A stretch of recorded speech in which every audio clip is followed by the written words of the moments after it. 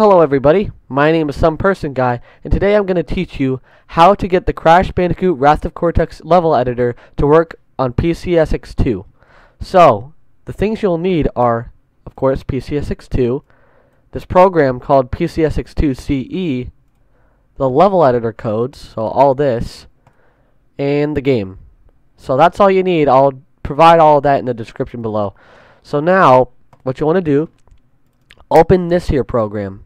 So you'll have to right click on it and go to open with Java Platform SE Binary. Now it will actually open. So what you'll need now are the codes. So I'll, I'll show you an example of what to do. So you'll type in loader, loader on the left side, enter, then make sure you copy all the codes from the greatest hits section or else none of this will work. And press Control V or just right click and paste and you'll have the codes here. So once you press convert, it'll look something like this.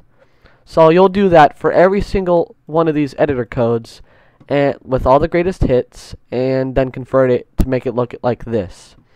So also I forgot the CRC. Uh, I'll show you once I open the cheat file what all that is. Don't, so you'll have to type in the CRC as well because that's important. So once I go into my cheat folder, open this up, the CRC code is 103B5706. And if you don't have that, then none of this will work. So once you get all the codes in, everything should look like this on the output side. Alright, so you'll want to save it to users, whatever your name is, documents, PCSX2, cheats. You save it, close out of here, and now it's time to actually get this stuff to work. Now we go to the PCXS2 emulator, go to System, and make sure the Enable Cheats is checked. Now, you want to boot up the game, and it may take a while to load up, so I'm just going to cut to where all the stuff happens. Okay, so now that we're in the game, let's see these codes in action. So the buttons that you have to press is select L1, R1, L2, and R2. And then this menu should pop up. What this menu is, is the complete editor for every single object in the game other than the terrain, uh, textures, and like all that other complicated stuff. So it's all about just like placing objects. So what you can do, you can edit the AI, animations, crate, grass, light, object, wumpa, and particle positioner.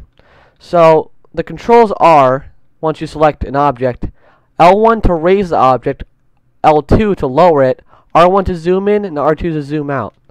So that's how you control the controls.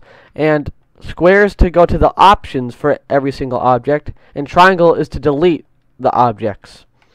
And those are all the controls. I mean, if you want to just keep on going through all the editors, you can.